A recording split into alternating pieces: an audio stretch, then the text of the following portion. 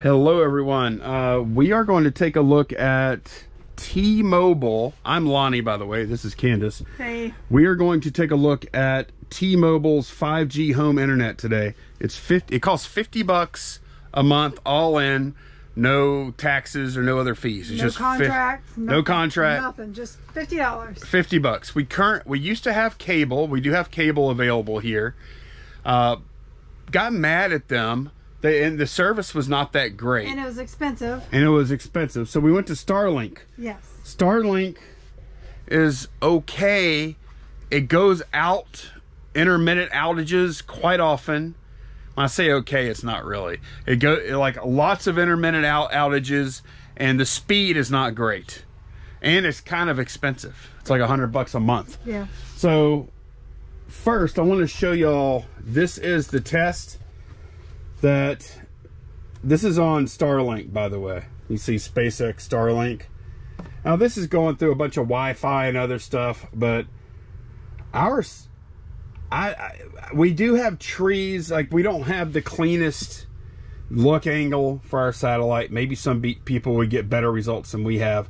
This is what I get right here though. So 17 down and sometimes this is better than this. Some usually it's more around 6 or 7. But yeah, 17 and 3, that's not good. No. That's why we have this thing. Let's open this uh That's this little thing up. While we're trying, look, T-Mobile advertisement.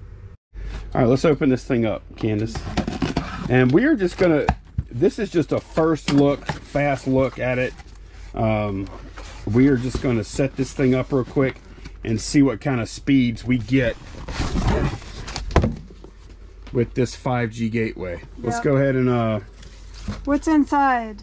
The gateway, the start guide, and a power supply. I think we also have to put some kind of app on our phone. Probably so. All right, I just installed the T-Mobile app. Uh, the guy on the phone when we ordered it, they were very nice on the phone, by the way. Yes. When we ordered it, uh, he said to go ahead and get this thing plugged in uh, and let it run for about two minutes before we run the app. So that's what we're going to do now. All right, uh, position, power connection, and download. Here is the gateway itself, and we do have power down here at the bottom of this box. Yep. Okay, had this uh had a big big fat wall wart there and the cable and uh did you power it on yet? Uh, yeah, I hit it in the back. I don't. Okay, it says powering up right there. Yep. All right, we'll just give this a couple of minutes. Okay, we don't have this thing. This is our first look. We're going to do another video later where we talk about how we like it long term. But it says 5G up here. Has uh, one, two, three, four out of five bars there. And it says to download the T-Mobile app. Zero devices connected. And it's kind of messages. Saw another guy who said uh, he was getting under messages he would get like spam messages and stuff. Oh, because it has a phone number assigned to it. to the sim card yeah. yeah, so it was getting like text messages. right that'll be pretty funny. Uh-huh. and setup device. Okay 5g gateway what's in the box? Okay yeah we have that stuff. Next. Location. Okay skip. Let's check the signal direction. Okay okay now it is asking us to scan a qr code okay it did it just said connected and it said your connection is very good and then I have to do some stuff on here, which I don't want to show the usernames and whatnot. All right, y'all. Uh, supposedly this connection is already all set up and ready to go.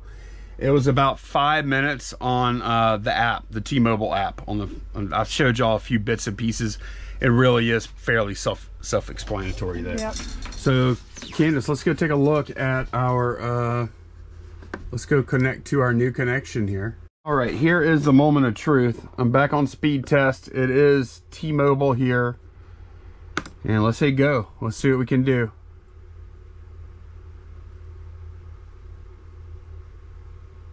Okay. Over, uh, well, about 380 down. We I've never had anywhere near that speed at this house. Our when we had, it's almost look it hit almost 400 down. Yeah. The upload is going to be a lot slower, of course, but it's still. We've never had like when we were on cable, Cox cable, our max download would be like 30 meg.